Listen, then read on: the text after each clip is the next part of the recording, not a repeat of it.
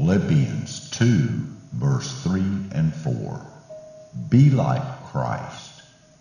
Do nothing from selfishness or empty conceit, through factional motives or strife, but with an attitude of humility, being neither arrogant nor self-righteous. Regard others as more important than yourselves. Do not merely look out for your own personal interests, but also for the interests of others.